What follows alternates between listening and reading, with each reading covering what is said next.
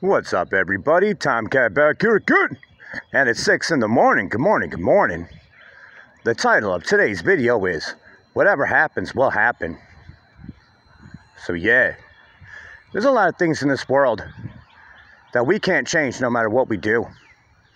There's a lot of things that are going to happen in our lives, and we can't change them no matter what we do. Because whatever happens will happen and we're powerless to stop a lot of it. But that doesn't mean that we have a defeatist attitude. No, no, no. That's why the cat teaches positivity. Because you know what? I always say mindset is key from the get go. Because it's not that we can change something, it's we can change how we deal with it. Whatever's going to happen is going to happen. It's just the way it is. Now, some will argue and say it's because the hands of fate. Some people say that it's just the world being cruel. Some people say it's the world being cool when it's good things happening. But you know what? Ultimately, things are going to work out the way they're supposed to, whether it's good or bad. It's just the way our lives are. This force is far beyond us at work. Now, it could be God, it could be whatever you want to believe in. But you know what? Whatever happens, happens. We are powerless to change a lot. There are things we can change, but we're powerless to change a lot in life.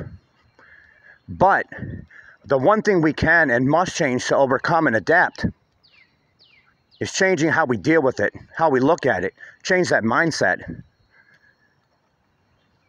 It's very important to try to stay as positive as you can. Because you know what? What you bring into this world is what you get out of it. If you stay positive and you keep trying, good things will happen.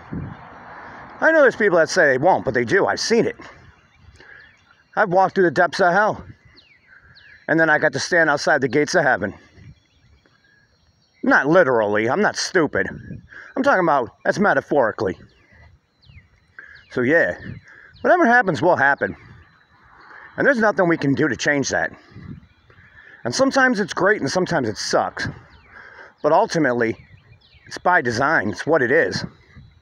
So the sooner we get over that fact and we change how we deal with it and change how we look at a situation, and there's the kitty. That's the sooner we get things done. Hi, baby kitty. Oh, she wants to be in the shot, huh? Oh, I didn't know Kitty was gonna make. Well, she don't want to stay around, does she? Come on, come on, love. She's saying, no way, cat. Cat, get away from the cat. All right, guys, I love you. We'll see you later for some more videos.